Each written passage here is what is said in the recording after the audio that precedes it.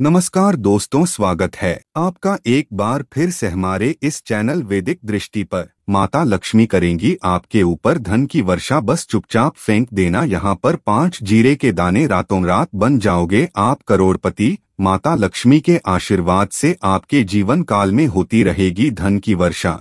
दोस्तों, शायद ये बात आपको पता ना हो, आपके घर के रखे कई ऐसे मसाले होते हैं, जिनका अगर आप सही प्रकार से प्रयोग करें तो जीवन में चल रही हर प्रकार की समस्याओं से आपको तुरंत के तुरंत मुक्ति मिल सकती है, और उन्हीं मसालों में से एक मसाला है जीरा जिसका। इस्तेमाल वैसे तो आप लोग खाने के स्वाद को बढ़ाने के लिए करते हैं, लेकिन ये बात आपको पता नहीं होगी कि जीरे का अगर सही प्रकार से प्रयोग किया जाए तो न केवल जीवन के हर प्रकार की समस्याओं से आपको तुरंत के तुरंत मुक्ति मिल सकती है, बल्कि आपको साक्षात माता लक्ष्मी का वरदान और आशीर्वाद भी मिल सकता है। ज्योतिष शास्त्र में जीरे के कई ऐसे उपाय बताए गए हैं, जिनका इस्तेमाल करके न केवल आप अपने ग्रहों को मज़बूत कर सकते हैं, बल्कि जीवन में चल रही धन संबंधित परेशानियों से भी मुक्ति पा सकते हैं। ज्योतिष शास्त्र के अनुसार जीरा जो घर के खाने का स्वाद बढ़ाने का काम करता है, अगर उसका प्रयोग ज्योतिष शास्त्र के अनुसार ठीक तरीके से सही मुहूर्त पर किया जाए तो आपको साक्षात माता लक्ष्मी का इस प्रकार से वरदान प्राप्त हो सकता, जिसके बाद न केवल आपके जीवन से धन संबंधित परेशानियाँ खत्म हो जाएँगी, बल्कि आपको माता लक्ष्मी जी का वो वरदान और वो आशीर्वाद मिलेगा, जिसके बाद आपके जीवन काल में हमेशा धन की वर्षा होती रहेगी। आपके जीवन में धन आने के सारे रास्ते खुल जाएँगे। दोस्तों, जीरे से जुड़े हुए उपाय करने से घर में सुख समृद्धि तो आती ही आती है। इसका उपाय का सही तरीके से किया जाए तो आपकी आर्थिक स्थिति भी बहुत ही मज़बूत रहती है। कहा आता है कि जीरे का सही प्रकार से प्रयोग करने से जीवन में आ रही लगातार अड़चने जो होती है, वो खत्म हो जाती हैं। आपके जीवन की समस्याएँ भी खत्म हो जाती हैं। दूसरी तरफ़, आपका भाग्य इस प्रकार से आपका साथ देना शुरू कर देता है, जिसके बाद आप जिस कार्य को भी शुरू करते हैं, उस कार्ड में आपको सफलता मिलती है। दोस्तों, मान लीजिए आपकी कुंडली में वास्तु दोष है, मंगल दोष है, शनि दोष है। आपके जीवन में बहुत सारी परेशानियाँ हैं, जिससे आप बहुत ज़्यादा टूट चुके हैं। आप अपने जीवन में यह देख रहे हैं कि आपके जीवन में धन आना बंद हो गया है। आपको किसी ऐसी बीमारी ने जकड़ लिया है, जिसका आप इलाज करा करा के थक गए हैं, परंतु कोई लाभ नहीं मिल रहा है। सिर्फ़ आज के इस वीडियो को लास्ट तक, अंत तक बिना भगाए देख लीजिए। आपको हम ज्योतिष शास्त्र और तंत्र शास्त्र के अनुसार जीरे के उन उपायों के बारे में बताने जा रहे हैं। का प्रयोग अगर आप सही मुहूर्त पर सही तरीके से करते हैं तो हर प्रकार की समस्याओं से आपको चुटकियों में मुक्ति मिल जाएगी, इसीलिए दोस्त। तो इस वीडियो को बहुत ध्यान से लास्ट तक, अंत तक देखिएगा, क्योंकि दोस्तों जीरा एक बहुत साधारण सी चीज़ है, जो बड़े आराम से मिल जाती है। लेकिन इसका प्रयोग कैसे करना है, आपको वो आपको पता नहीं होगा। दोस्तों, एक बात का ध्यान रखिएगा तंत्र शास्त्र में जीरे के प्रयोग को सबसे उत्तम प्रयोग बताया गया है। तो यहाँ तक गया है कि अगर कोई व्यक्ति माता लक्ष्मी का आशीर्वाद प्राप्त करना चाहता है, और वो सिर्फ़ जीरे का प्रयोग और जीरे का उपाय माता लक्ष्मी जी के सामने सही दिन पर और सही मुहूर्त पर कर ले तो उस व्यक्ति को साक्षात माता लक्ष्मी जी का वो वरदान और वो आशीर्वाद मिलता है, जिसके बाद उस व्यक्ति को कभी भी जीवन में धन की कोई कमी नहीं होती है। इसीलिए दोस्तों, अगर आप भी चाहते हैं कि माता लक्ष्मी जी की कृपा आप पे और आप परिवार पर सदैव बनी रहे, माता लक्ष्मी के आशीर्वाद से आपके जीवन में धन की वर्षा हो और आपको कभी धन की कोई कमी ना हो।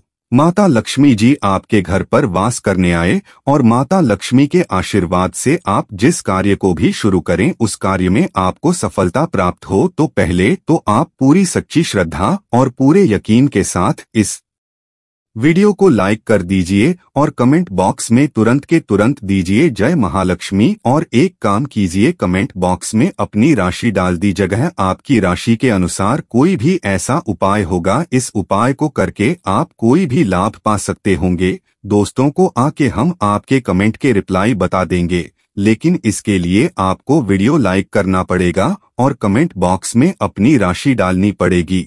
देखिए सबसे पहला उपाय जो हम आपको बताने जा रहे हैं, वो है कर्ज मुक्ति का महाउपाय दोस्तों, ये बात शायद आपको ना पता हो, एक व्यक्ति कभी भी कर्ज लेता है तो मान के चलिए उसकी रातों की नींद गायब हो जाती है, वो खाना ठीक से नहीं खा पाता है, उसकी इतनी परेशानियाँ आ जाती है, जिसका अंदाज़ा भी नहीं लगा सकते हैं। और आप भी अगर उन व्यक्तियों में से है जिसने कोई ऋण ले रखा है तो आज आपको हम एक उपाय बताना रहे। यह उपाय अगर आपने कर लिया तो आपके जीवन में चल रही है। धन संबंधित परेशानियाँ तो आराम से खत्म हो जाएँगी।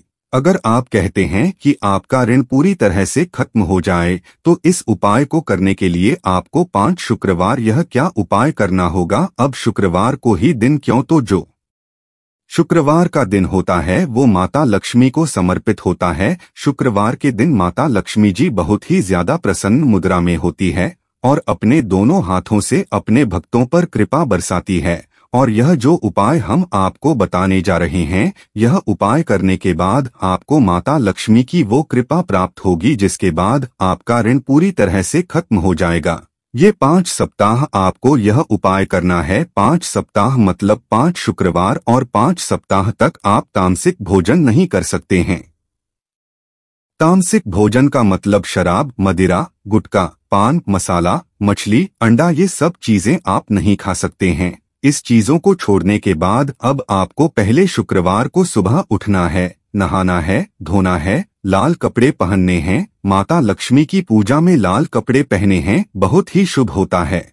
अब को एक लाल कपड़ा लेना है, लाल कपड़े में आपको एक मुट्ठी जीरा रखना है, एक मुट्ठी जीरा के ऊपर एक रुपया का सिक्का रखना है, इस लाल कपड़े को आपको मौली धागे से बाँध करके एक पोटली बना लेनी है, माता लक्ष्मी जी के मंदिर चले जाइए, माता लक्ष्मी के।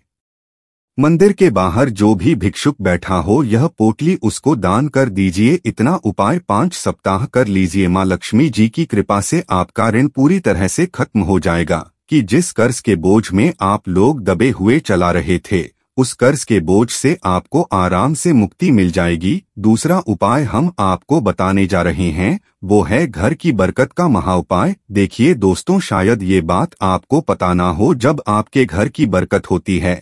आपके घर की उन्नति होती है।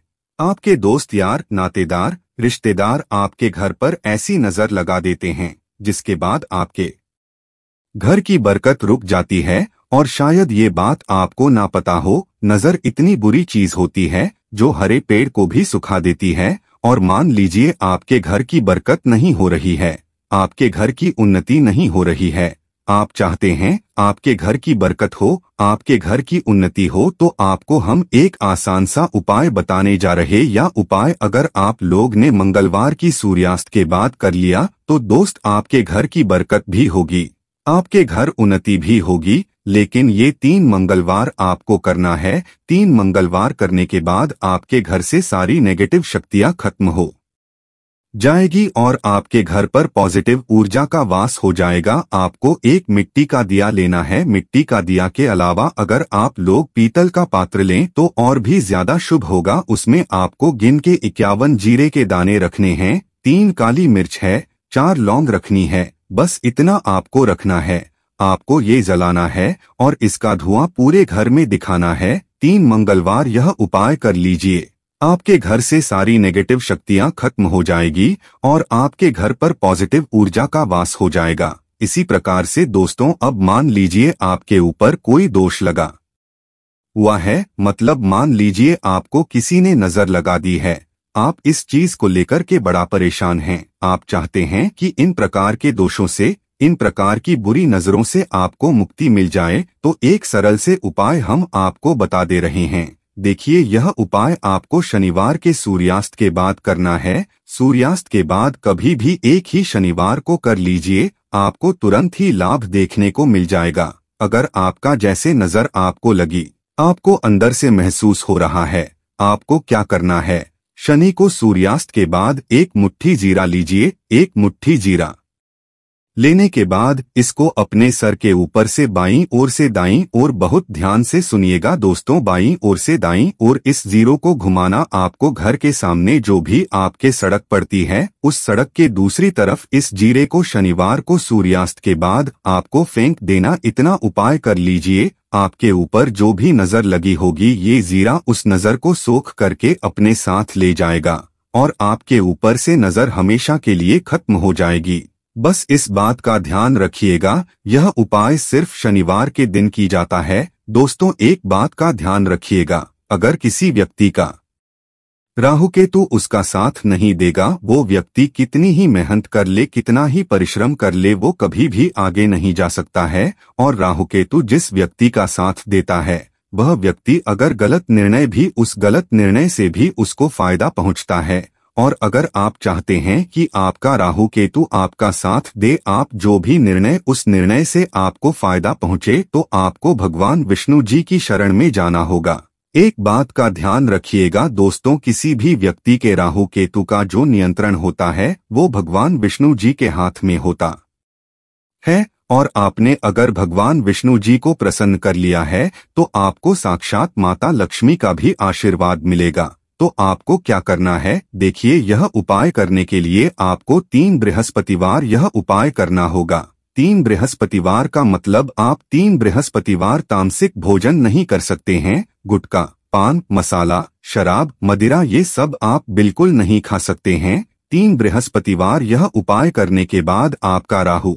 केतु हमेशा आपका साथ देगा। जो भी आप निर्णय लेंगे, उस निर्णय से आपको फ़ायदा पहुंचेगा। बहुत ही आसान से उपाय है, आपको क्या करना है? बृहस्पतिवार का जो दिन होता है, वो भगवान विष्णु जी का दिन होता है। असुबह उठना है, नहाना है, धोना है। आपको पीले कपड़े पहनने हैं, क्योंकि भगवान विष्णु जी की पूजा में जब भी पीले कपड़े पहने जाएँ तो वो पूजा तुरंत की तुरंत सिद्ध हो जाती है। आपको पीले कपड़े पहने एक लोटा लेना है। तांबे का लोटा लीजिए, उसमें पूरा जल भर लीजिए, एक मुट्ठी जीरा लीजिए। आप किसी भी पीपल के पेड़ के पास जाइए। आप पीपल के पेड़ के पास क्यों जाना है? पीपल के पेड़ में भगवान विष्णु जी का वास होता है। पीपल के पेड़ के पास जाइए। सबसे पहले ये जो जीरा आपने एक मुट्ठी लिया है, ये आपको पीपल पेड़ के दक्षिण तरफ़ बहा देना है। दक्षिण तरफ़ आपने बहा दिया। अब ये एक लोटा लीजिए, पीपल के पेड़ को अर्पित कीजिए, इस जल को पीपल पेड़ की सात परिक्रमा कीजिए, सात परिक्रमा करते वक्त भगवान विष्णु जी का बीज मंत्र बोल दीजिएगा, ओम नमो वासुदेवाय नमः, हम फिर से रिपीट कर दे रहे दोस्तों, ओम नमो भगवते वासुदेवाय नमः, इस बीज मंत्र का कम से कम आपको सात बार जाप करना है, जितनी बार आप चक्कर लगाएँगे, सात बार उतना जाप करना है यह उपाय आप लोग तीन से बृहस्पतिवार कर। लीजिए, तीन बृहस्पतिवार करने के बाद आप खुद देखेंगे कि आपके राहु केतु साथ देना शुरू कर देंगे। आप जो भी निर्णय लेंगे, उस निर्णय से आपको फ़ायदा मिलेगा। आशा है कि आज की इस प्रस्तुति में बताई गई जानकारी आपको अच्छे से समझ आ गई होगी। वीडियो अच्छा लगा हो तो एक लाइक अवश्य कर दें। धन्यवाद। वीडियो के अंत तक बने रहने के लिए।